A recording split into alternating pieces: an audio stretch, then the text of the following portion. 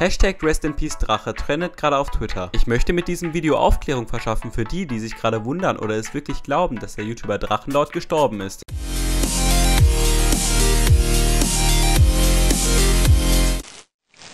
Ich habe recherchiert und bin auf folgende Ergebnisse gekommen. Ich vermute, dass der Trend in einem Forum namens Lach schon seinen Ursprung gefunden hat. Dort postete ein User namens Pferdblue heute um 11 Uhr folgendes. Leute, ich weiß durch Krankenhausspione, dass Drachenlord gerade im Krankenhaus ist und OP fertig gemacht wird. Wer ihm also Blumen bringen will, heute ist der richtige Tag. Ebenfalls schrieb er aufgrund Skepsis anderer Foren-User kurze Zeit später, ist wahr, kannst im Krankenhaus anrufen, die geben sofort die Zimmernummer her, wenn man sich als Freund oder Familie ausgibt. Kleiner Einschub, ich habe sehr oft gelesen, dass Drachenlord an seiner Gallenblase operiert wird. Vermutlich liegt er also wirklich im Krankenhaus. Ich habe jedoch keine Beweise dazu gefunden. Aber anscheinend sind andere sich da um einiges sicherer. Jemand hat zum Beispiel in dem Forum die vermutliche Klinikadresse gepostet. Der User Sander schrieb folgendes in dem Forum. Wahrscheinlich geht es dann zu Ende mit ihm, wie jedes Mal, wenn etwas Großartiges passiert. Stellt doch mal ein paar Theorien dazu auf.